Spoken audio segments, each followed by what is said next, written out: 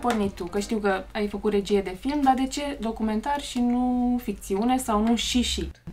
Păi am pornit uh, la începutul facultății, să spun așa, cumva de prin anul întâi am intuit, am bănuit sau cel puțin am început să vreau să fac documentar. Uh, în semestrul întâi am avut uh, două experiențe filmice, să spun așa, care m-au dus în zona asta.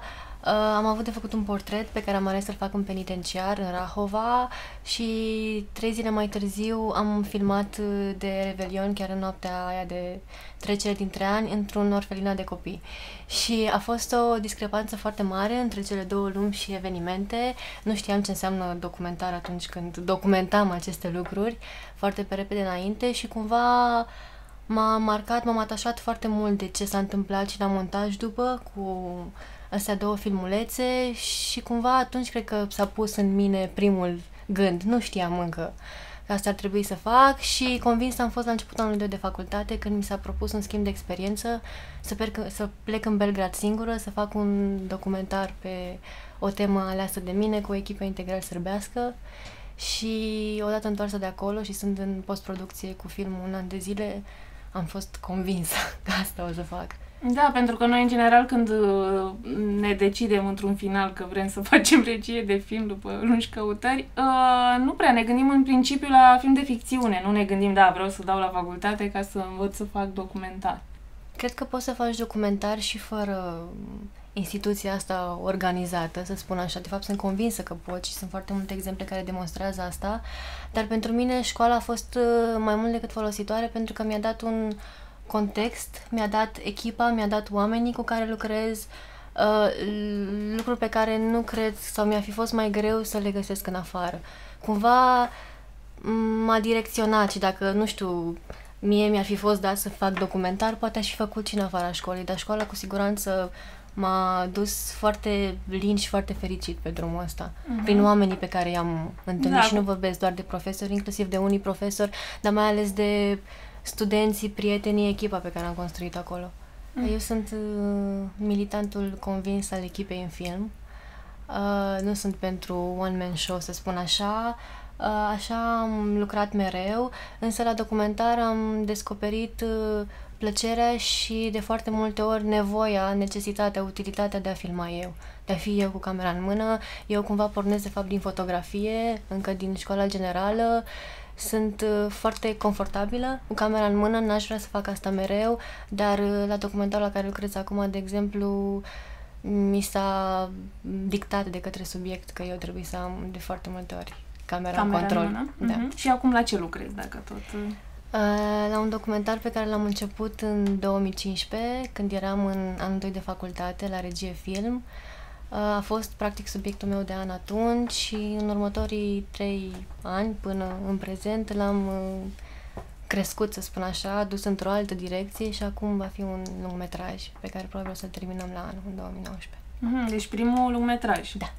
Mm-hmm. Și cât, cât de greu e pentru un tânăr să aibă acest prim lungmetraj, prim pas în uh, scurtmetraj, așa cumva, într-o conjunctură sau alta, reușim să mai producem, dar pentru un lungmetraj, bănuiesc că e eu nu am știut de la început că o să fie lungmetraj, adică proiectul a crescut uh, odată cu mine, sau de fapt eu odată cu el și mi-a dictat el pe parcurs ce ar trebui să fac cu filmul și uh, când am conștientizat că o să fie lungmetraj, adică acum mai puțin de un an de zile, uh, încă nu mi-am dat seama care e greu, pentru că deja procesul ăsta de producție se întâmplase cu multă vreme, începuse acum multă vreme, dar dificultatea reală a intervenit la montaj, când ne-a pus asta vară să uh, umblăm așa prin material și să încercăm un prim rough cut, pentru că gândeam foarte mult în varianta de scurtmetraj. Grăbeam povestea și e o poveste care are foarte multe propoziții principale, trebuie să, ne găs- să găsim cumva ordinea în care să spunem lucrurile astea și lucram așa în variante de 10, 15, 20 de minute și îmi, dau seama, îmi dădeam seama că nu nu suntem unde trebuie, mai avem încă atâtea de spus și noi nu lăsăm pauze, nu respirăm și suntem... Asta e de fapt, cred că cel mai greu pentru primul film. Dincolo de probleme de producție, faptul că gândește în metraj, în scurt metraj, așa ai fost obișnuit. Da, e, e dificil, e cumva eu am, tot ce am făcut, am făcut uh, orbește în sensul că niciodată nu mi-am pus problema în proiectul ăsta că nu o să se întâmple. cumva era la fel de important ca a mânca sau a dormi la un moment dat. Era natural, trebuia să se întâmple și asta. Și mi-am pus foarte multe piedici în legătură cu el, cu toate plecările, cu în a-l face așa cum merită, până când cineva mi-a spus, pune pe hârtie exact așa cum ai vrea tu să fie filmul ăsta. Dacă trebuie să pleci în China, pentru el scrie că vrei să pleci în China și de ce, vrei să pleci în Franța, în Germania, peste tot. Și când mi s-a spus asta, am început să fac asta și odată scrise lucrurile astea, cumva au început natural să se întâmple și la nivel de producție, să ajung în toate locurile astea. Uh-huh. Și să conștientizezi poate de ce e strict necesar să ajungi exact, acolo exact, sau acolo. Exact, exact, exact. Într-adevăr, uneori când le punem pe hârtie, parcă ne clarificăm. Uh... Și e și mai mult curaj, că pentru unele din ele știam de ce ar trebui, dar eram foarte panicată la nivel de producție, nu o să se poată, nu o să am bani să mă duc acolo, nu o să am bani să călătorez, nu am bani de echipă, nu am bani de nimic. Și odată scrise și da, conștientizând de fapt că filmul ăsta nu poate fi făcut fără lucrurile astea, am început să lupt în direcția aia și nu m-am mai întors. Ce teme abordezi în general? Ai observat că anii ăștia în care tu ai lucrat uh, film documentar te-ai îndreptat spre anumite zone problematici sau... M-am îndreptat în multe zone și foarte diferite între ele, adică cred că încă caut asta, poate nu o să mă decid niciodată într-o zonă neapărat, am avut am făcut și documentar social, am făcut și documentar ecologic, acum lucrez la un documentar despre jazz în România înainte de 89, adică sunt destul de... Diferite. Da, da, încă sunt destul de diferite și îmi place așa, adică cumva subiectele au venit natural, au venit ele la mine. Cred că e un clișeu să spun asta, dar așa e, nu am săpat pentru ele, nu m-am dus. Și ce am în minte pentru următoarele lungmetraje sunt tot așa destul de diferite între ele. Uh-huh. Poate chiar uh, asta cauze, de fapt, momentan. Posibil, da. E cât mai diferit, da. cât mai variat. Ce calități crezi că ai tu, speciale, care te ajută în realizarea documentarelor? Hmm. Uh, cumva Ioana care face film se metamorfozează când face film și e puțin diferită de Ioana din viața de zi cu zi, pentru că eu am intrat în facultate foarte introvertită, foarte tăcută, foarte calmă și la locul ei și în timpul facultății, în toate micile producții prin care am umblat, mi-am dat seama că mai e acolo o Ioana foarte zdravănă și foarte bătăioasă, să zic așa.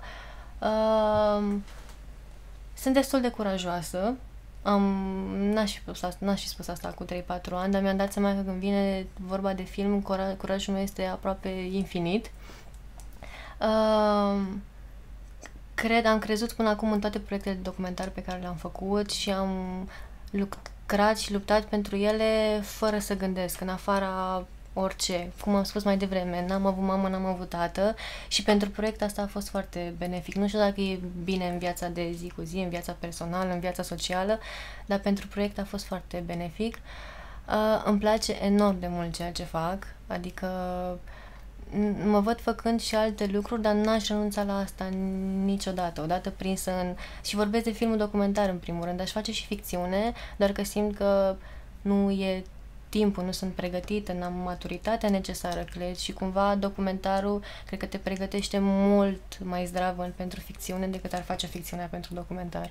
Documentarul te provoacă și mi se pare că scoate așa untul din tine mai zdravă decât o face ficțiunea. Am făcut ficțiune doar la nivel de școală, am făcut doar scometraje, cum am făcut și scometraje documentare, dar în documentar mă regăsesc mult mai mult. E mai sălbatic, e mai neașteptat, e mai nu știu, la un anumit nivel cred că e mai complicat. Uh-huh. Și dacă n-ai mai putea să faci film documentar, ce ai face? În primul rând, nu există ce ai spus tu. um, cu siguranță fotografie, asta o fac oricum, de când uh-huh. am mhm. început-o, n-am renunțat la ea. Mm. Acum că mă întreb, mi-e greu să-ți spun, dar când nu am timp, îți dai seama că am o listă de 100 de mii de lucruri pe care aș vrea să le fac, dar nu pot să le fac. Uh, hmm. Da, păi nu, tot film aș face. Aș face cumva, film, cumva? fotografie, da, și probabil m-aș apuca de pictură, pe care am lăsat-o acum 10 ani, cred. Dar tot în zona asta m-aș învârti mm-hmm. altelor, artelor plastice și vizuale.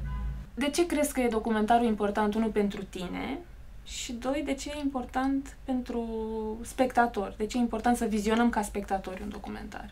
Păi, în primul rând, cred că ne face mult mai curajoși. E o curajul ăsta pe care, de care vorbeam.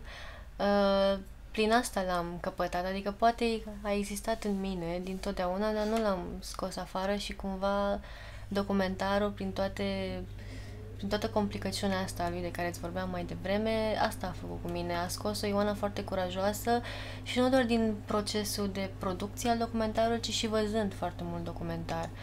Și cred că te apropie foarte tare de oameni. Adică nu e un... Documentarul nu e realitate, e despre realitate și atunci nu e doar ceva de învățare, nu e ceva pur informativ, e pur și simplu un atașament sau o, o apropiere foarte mare de oameni în adevăratul sens al cuvântului.